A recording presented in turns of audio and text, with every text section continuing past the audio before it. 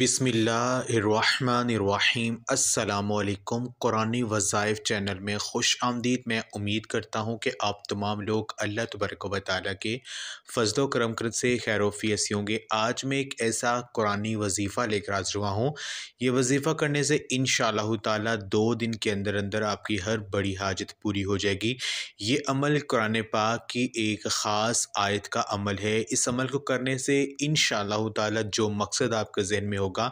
अल्लाह तबरक व ताली से आप जो भी मांगेंगे, दो दिन के अंदर अंदर आपको मिल जाएगा। ये अमल जिसने भी किया है, अल्लाह रब्बुल इज़्ज़त ने उन्हें हंड्रेड परसेंट कामयाबी अता की है। इस अमल को बताने से पहले मैं अल्लाह पाक से ये दुआ करता हूँ कि मेरी जो भी मुसलमान बहनें और भाई जो मेरी आज की वीडियो को देख रहे हैं, अगर वो परेशान हैं अपने दिल में कोई मकसद रखते हैं तो मैं अल्लाह पाक से दुआ करता हूँ कि आज का ये अमल करने की बदौलत से और हजूर नबी पाक वसलम के वसीले से अल्लाह पाक उनके हर बड़े मकसद में कामयाबी अता कर दे, आमीन। तमाम मेरे बहन और भाई कमेंट में एक मरतबा आमीन ज़रूर लिख दें।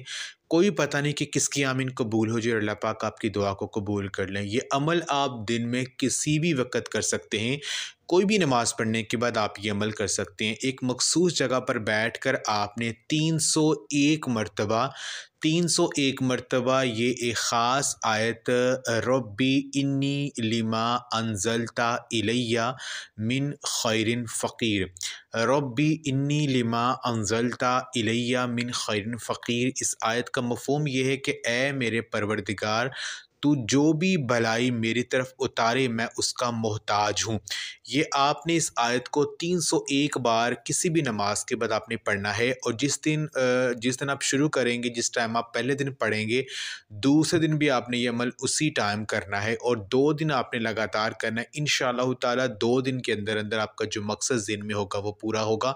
और अव्वल आखिर आपने तीन तीन मरतबा पाक लाजमी पढ़ लेना है। ये अमल आप लाजमी करें, इस वीडियो को शेयर भी करें। जजाक